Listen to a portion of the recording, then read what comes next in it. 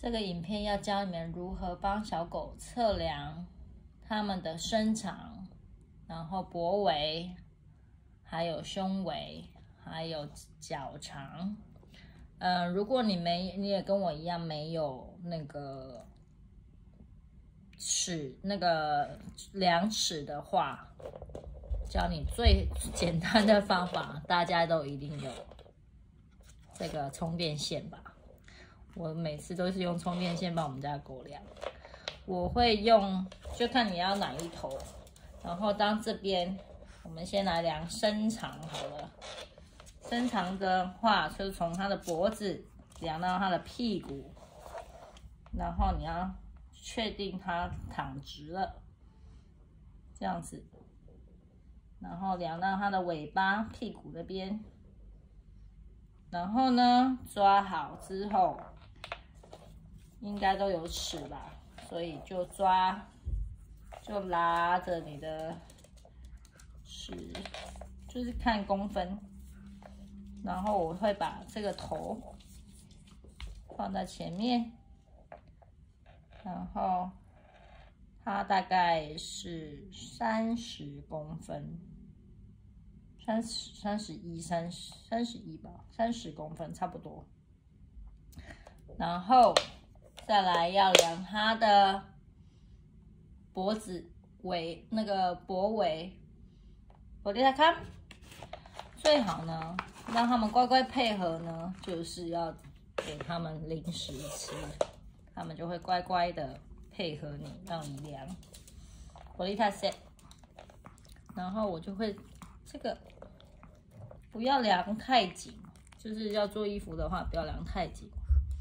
大概它围成它舒服的，就是舒服的宽度，这样人家帮你抓衣服的时候就会知道。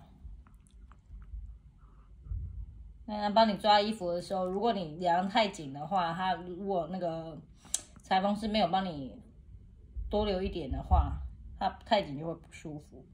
所以就是松松的，大概留个一公分到两公分。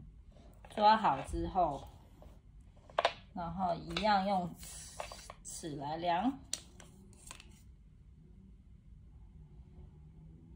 它的脖围大概二十七，这是松松的，不要量太宽。然后再来胸围啊，记得给它这个零食吃，不然它会不配合。然后胸围，因为的胸呢有一个地方比较宽，前面的话靠近脚的话比较比较窄一点，比较小一点。然后你就是量最宽的地方，最宽的地方应该是腋下在下面那边，因为衣服做起来比不要太紧，然后太紧的话，你就是自己再抓一个量个一公分。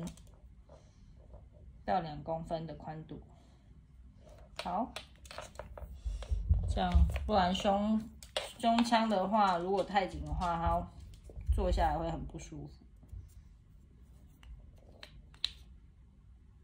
然后这个很方便的是，如果你太大了，不够量，你就是抓一下，自己就知道，手抓一下，然后再来量第二遍。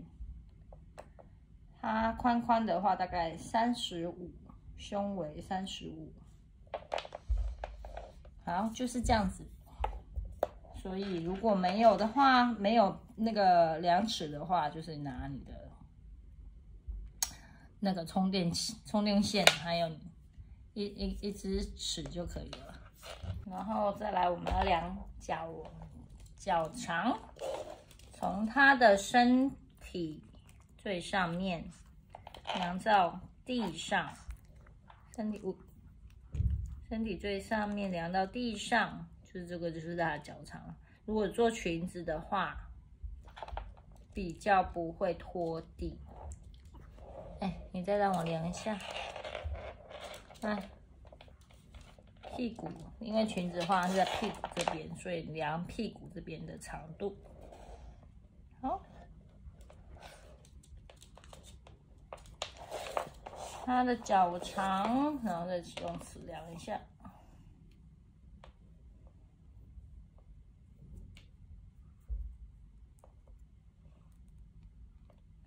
大概二十四。OK，就这样子，会了吗？应该很容易量的。